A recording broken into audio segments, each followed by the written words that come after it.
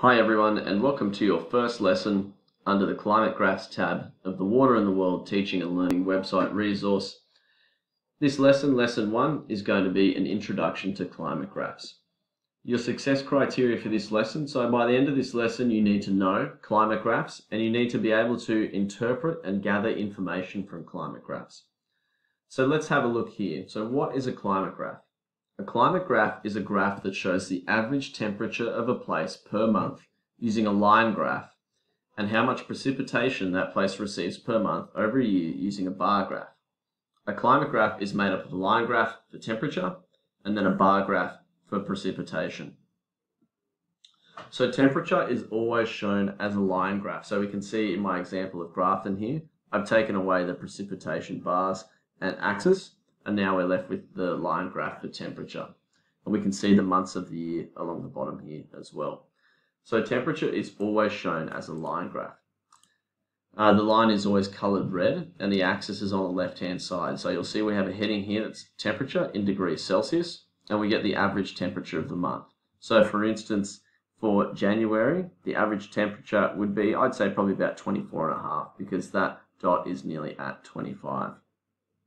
Sometimes on climate graphs there are two lines. One line will show the maximum temperature for the month and one line will show the minimum temperature.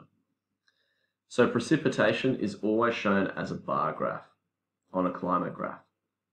So precipitation uh, bar graphs are always colored blue and then precipitation is any form of moisture such as rain, hail or snow that comes from the atmosphere. So let's have a look at our example of Grafton together we can answer these questions here as well. So by looking at the data, we can see the average temperature for the year for each month for Grafton, and we can see the amount of precipitation that Grafton received during each month as well. So let's have a look at the first question. What is the rainfall in June? So I go down to my months along the bottom of the graph here. So we've got January, February, March, April, May, June and then we go up and now we can see this is a bit of a tricky one because that dot is also over that line. So we need to see where this bar stops and we need to go over to the right hand side under precipitation because we need to be measuring precipitation. So I'd say that's about 60 there, 80 is that line there. I'd probably say the amount of millimeters that Grafton received that month would be about 78. What is the average temperature for October? So remember, temperature is a line graph. So we're going to go to October, O for October. We're going to go up to the line graph. Now, the temperature wouldn't be 100 degrees Celsius. So we know that we can't look over here. That's going to be wrong. So we need to go all the way over to temperature. We need to look on the right-hand side.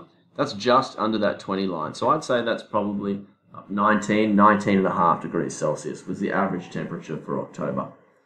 Let's look, have a look at the rainfall for October now.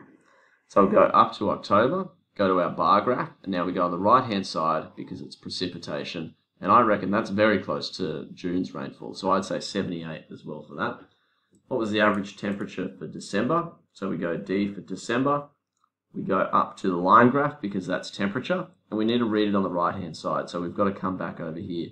And I'd say if that's 20 and that's 25, I'd say that one's probably about 23, 23 and a half degrees Celsius.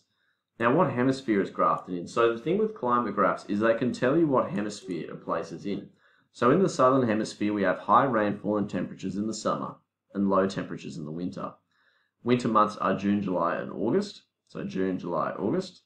Summer months are December, January, and February. In the northern hem hemisphere, they have high temperatures and rainfall in the summer and low temperatures in the winter. However, their uh, seasons are different to ours in the southern hemisphere, and they have more popular and populated cities where it snows. So that snow counts as their precipitation in winter as well. Their winter months are December, January, uh, January, February, and their summer months are June, July, and August. So their seasons are different to ours. So what hemisphere is Grafton in? So it's got high rainfall and high temperature in December, January, February in the summer months. So it must be in the southern hemisphere. So that's how we can tell what hemisphere a place is in based on its climate graph. Your first task you need to complete this lesson is these sets of questions for each climate graph you have here. So you've got eight questions on London, on London's climate graph. You've got 10 questions on Melbourne's climate graph. For Mumbai, you've got 10 questions. Newcastle, you've got 10 questions as well on Newcastle's climate graph. After you finish those four climate graphs, you then have a task on Education Perfect called Climate Graphs, and that'll finish off your work for this lesson. So thanks for watching guys, and remember if you want to stay updated to any new websites that are made or any other new lessons that are made in existing websites like this one, make sure to go ahead and subscribe. Thank you.